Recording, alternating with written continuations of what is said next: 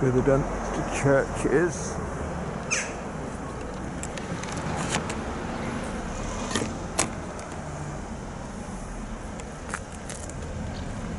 Yeah, so that's where the fork right up towards back of Old Priory Cottage when I used to stay with Victoria Harding. Yeah, shame you say you say that. That's the way where the pop is. Yeah. That's where the church is. I expect the main church door's still closed. Oh, it's a shame. Oh, can't we go in? No. Oh, it's a shame. It- Turn history. Oh. Oh. Every Sunday service. Sundays. That's a shame.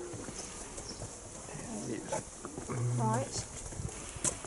Oh, that's where the other entrance to the church.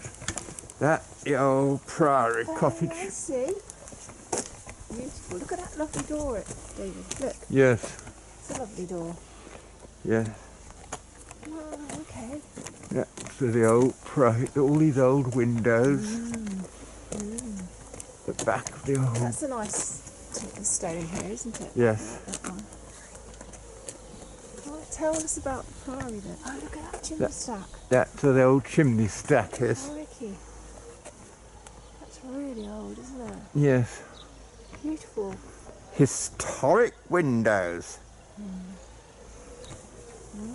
Should we go sort of walk round, you know, and have a good view down then, can't we? Yeah. Maybe you could. Oh, look at this. What is this then, David? It's an old. It's an old monument. Right. Look at the shape, though. yeah. Unusual, isn't it? Yeah. Very unusual.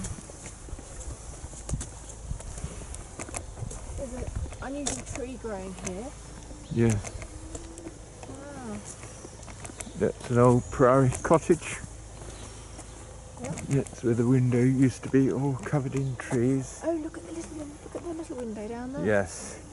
And the very small one there, David. Yes. Wow. Do you want to maybe go video if we, we could walk round? Yes. Can we do that? Yes.